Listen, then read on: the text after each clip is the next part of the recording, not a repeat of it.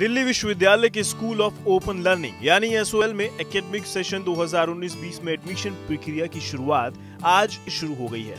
S में उपलब्ध पाँच कोर्सेज में बिना लेट फ़ीस 31 जुलाई तक एडमिशन एक बेहतर विकल्प है।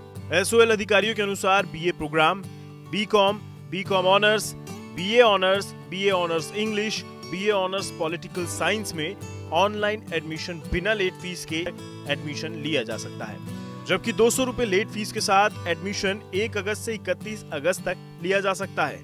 इस डेट के बाद किसी भी स्थिति में एडमिशन नहीं लिया जाएगा। ऑनलाइन एडमिशन के लिए स्कूल ऑफ़ ओपन लर्निंग की वेबसाइट पर सभी जानकारियाँ उपलब्ध कराई गई हैं। ऐसे कयास लगाए जा रहे हैं कि इस बार एडमिशन के लिए कम से कम बारहवीं पास होना ज़रूरी है। लेकिन अभी इसमें 40 फ़ीसदी अंक का होना आवश्यक है। इस तरह से बारहवीं में 40 फ़ीसदी अंक प्राप्त करने वाले इसमें एडमिशन ले सकते हैं। अधिकारियों के अनुसार अभी इसमें बदलाव की कोई जानकारी नहीं है।